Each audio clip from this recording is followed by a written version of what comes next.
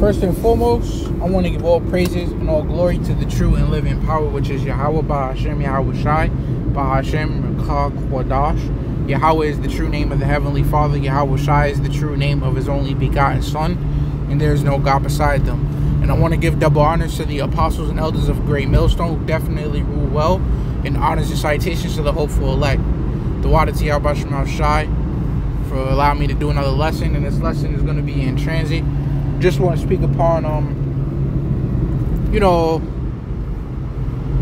seeing brothers are doing their own, own responses, brothers and elders, like it, or the apostles, elders, and brothers doing responses as well on um these hat wearing niggas. You know? to uh, uh, uh, to put it, man. And hey, man, let's get on what Yahweh Shai said. Let's let Yahweh Shai tell it. Dudes didn't learn nothing from uh, from Brother Polite.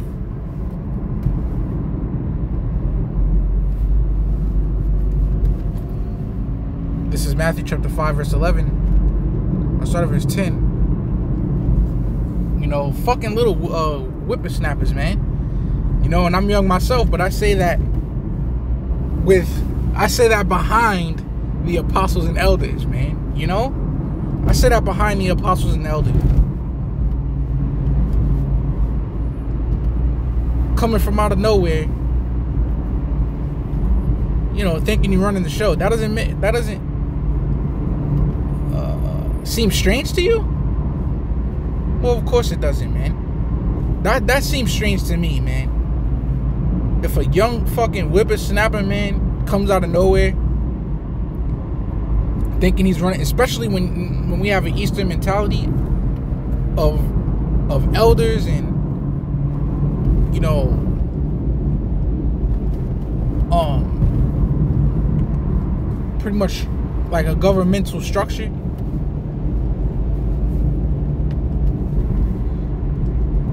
you know, to have some young dude uh, uh, come out of nowhere and, and, really thinking that he's the top guy, that that that, come on, man. This is Matthew chapter five, verse uh, ten. Blessed are they which are persecuted for righteousness' sake, for theirs is the kingdom of heaven. And guess what? The reason why you call us these, the reason why you slander us and lie on us and demonize us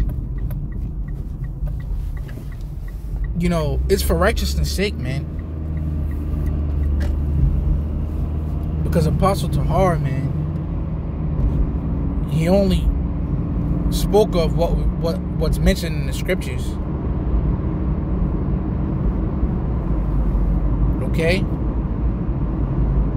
And everything that's written in the scriptures is righteousness. So ultimately, he was only bringing out righteousness. Now, because it doesn't sit well with you, doesn't mean, doesn't take away that it's still righteousness. Because it's coming from the inspiration of the Most High. It's coming from the most, it's stamped by the Most High Himself, man, so to speak. So if you think that we're blessed for being persecuted for righteousness' sake, what do you think is on the other side of the coin for those that are doing the persecution?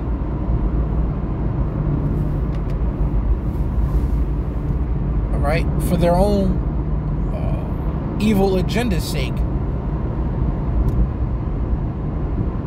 And this isn't, you know, this lesson isn't for for these guys, so to speak. It's just um being put out there because it's still truth. You know, like Jeremiah said, he said, uh, I'm not gonna speak in the name of the Lord no more. But then he said the fire was burning within him to, to, to where he had to give utterance, man. Roughly paraphrasing. So that's kind of how I feel, man.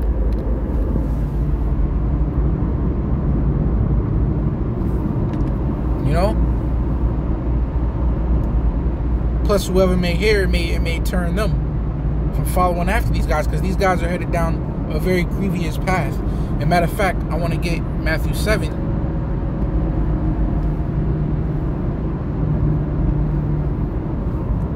And then you got uh goofballs that join in.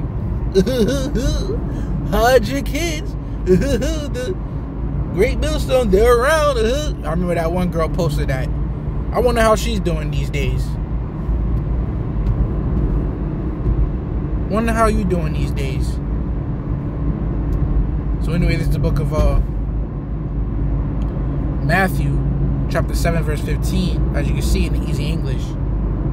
Says, Watch out for prophets who tell you wrong things about the Most High. And for you to persecute us for righteousness' sake, for the Most High's sake, is for you to ultimately be telling wrong things of the Most High. Remember, we're the Most High's, we're the Most High's mouthpiece. I would never follow some fucking young whippersnapper, man, that just came out the goddamn blue. That probably been in the truth as long as I've been in the truth, man. For that sakes, over proven, diligent, experienced, you know, uh, what's the, uh, what's the, uh, well seasoned, highly well seasoned men who's been doing this before I was fucking born. A mind, think about that mindset, yo. The mindset to, to, to, to say, nah, I'm gonna get down with these guys, yo, new school. I'm gonna get down with these guys. They more lively, know, it's more fun, and I could look at look at your mindset. And then you really expect Yahweh Shemashai to show you the truth? That's why, like Yahweh Shai said about to Peter, said when he said, Who do men say that I am?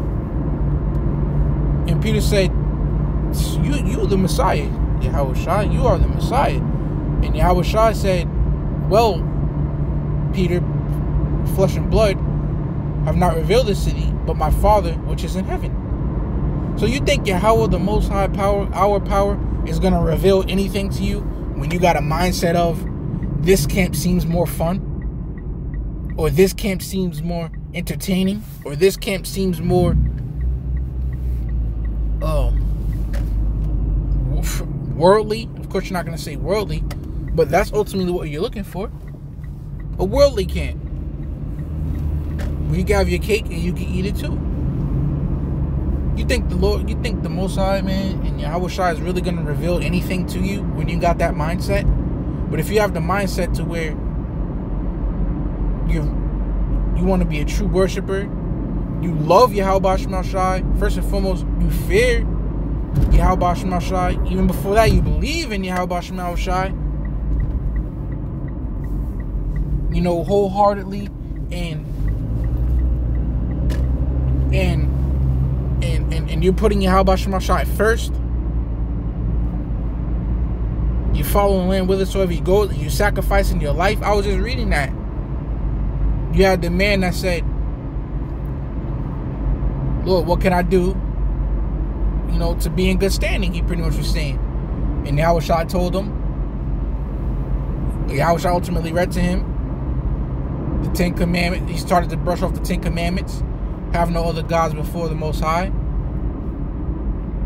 Don't murder. Don't commit adultery honor your mother and father, don't steal, and love your neighbor as you love yourself. And he said, Lord, I, I guess I'm good. I do all those things. And this is in transit, you know. But uh, so I'm just quoting the scriptures, and then and then oh Yahushua said, Oh yeah, well, sell all you have, give it all to the poor. You know, and then what? He couldn't do it. You know. But let me get back into this. It says uh, Matthew seven and fifteen is watch out for prophets who tell you wrong things about the Most High. These people seem to be like sheep that are not dangerous. Yeah. Gonna go. You know, think he bringing out the scriptures. These guys, you know, not just him, but all all the false prophets. They look like holy men of the Lord. They're racking in views. They're racking in likes. They're racking in money. Right? They seem cool. They seem well taught. Um, not even well taught. Um, pretty much of, of, of well speech. So they seem cool. They seem to be like sheep, but are uh, uh, uh, that are not dangerous, right? But they are really like hungry wild dogs. Meaning what? Niggas. And you know what? That's what a hungry wild dog is. A hungry wild dog is a ninja, bro. In my previous lesson, I did I I, I, I mentioned how you have two dogs, right? You have one dog that is obedient. You'll say, you'll be like, uh, a, a Scooby. You yo, Scooby, come eat. And then he'll rush off from from from sitting stance to go eat. As the, as as the food tinkles in the bowl, he'll sit there patiently, obediently. You say, Scooby, come eat, and then he'll go and rush to eat. That's a respectable dog. That's a well mannered, well trained dog that's thankful and appreciative to be fed and to be sheltered.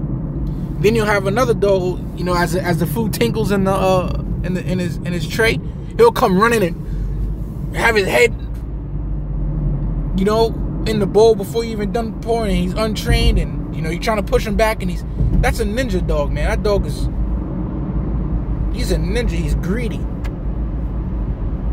That's really how these how these dudes are. They're ninjas, man. They're they're they're they're not disobedient. I mean, they're not obedient. Salakia.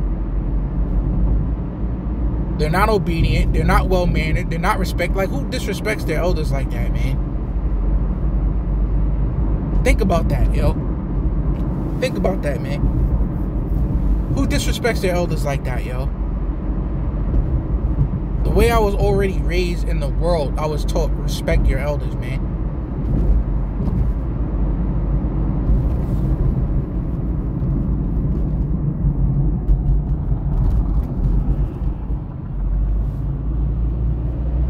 You know?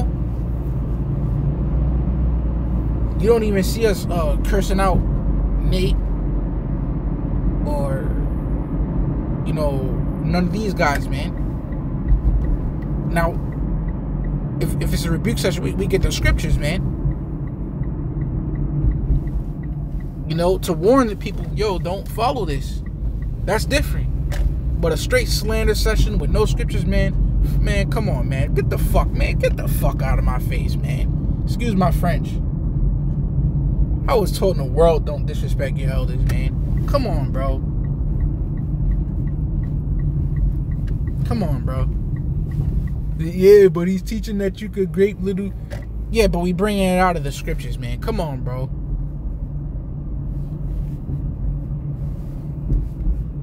So it says, uh, what they teach will hurt you. All right. So following after them will get you hurt. Okay? So this is just a uh, what's the uh, admonishment, you know, to uh, watch out for these dudes, man. You know, you're not slick, and you know, best believe, man, damn, I wouldn't want to be your ass. You know, but these these false prophets got to come back, man. Low on edifying with that, I'm gonna say shalom.